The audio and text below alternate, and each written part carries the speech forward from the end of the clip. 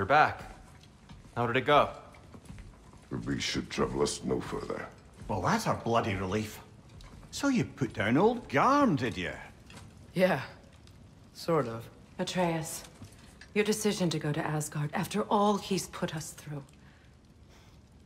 I'll never understand it. But I hope you at least came back with something we can use. I hope so too. Come on, let me show you what Odin's up to. Here's what he cares about most. More than Ragnarok or anything. Is this mask. Anyone recognize it? That thing? Ugh, it's a dead end. He's been faffing around with that since before I knew him. To be honest, I thought the Giants were just having a laugh with that one. Okay, fine. No. You're wrong, Mimir.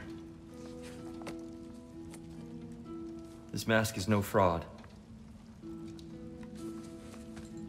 The Giants didn't make it, and only a few of them ever glimpsed it in their visions.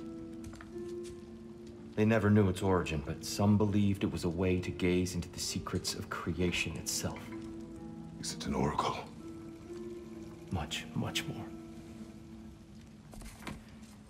Imagine becoming one with a source of infinite knowledge.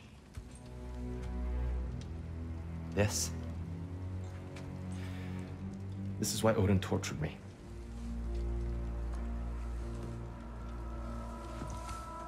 So what do you think? Know it? No.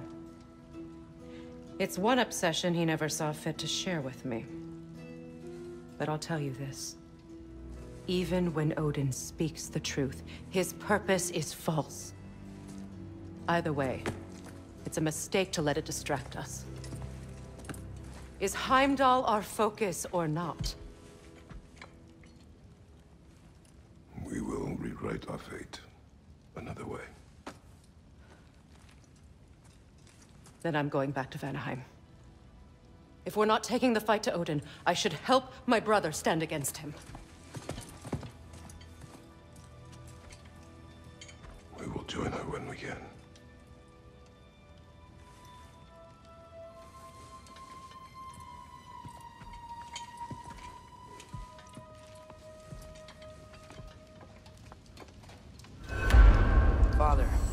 I'm gonna study my notes on the mask.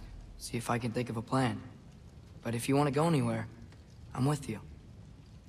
And listen, everyone. I'm really sorry about the way I left. You know I've never hurt any of you on purpose. Well, when you can turn into a bear by accident, I suppose these things can happen. So, do you forgive me, Of course, Atreus. We know you meant no harm, lad. Sindri? I'm sure I will. Eventually. Okay. Guess I'll take it. While we're clearing the air, I hope that I can be forgiven for not doing more when the Hel-walkers attacked. Whatever reservations I have about violence, they shouldn't apply when your home is under attack. And certainly not by undead abominations. Yet I reached for a shield instead of a sword. You were right to chide me for that, old friend. The next time the moment calls me, I'll be ready. Well said, Tyr. I believe you just might.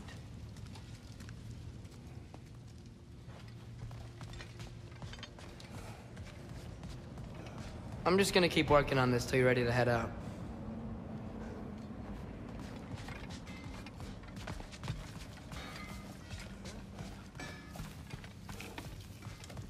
Think I need to clear my head.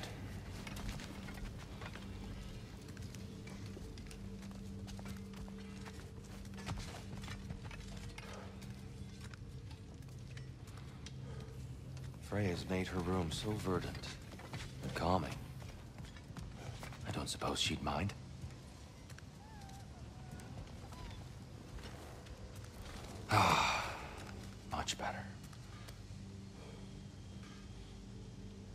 Care to join me, Kratos? Have a seat, think about your breathing, try and find stillness in your mind? No. Brother, before we check on Freya, is there any unfinished business in other realms you wanted to take care of? I'm sure the lad would love to help.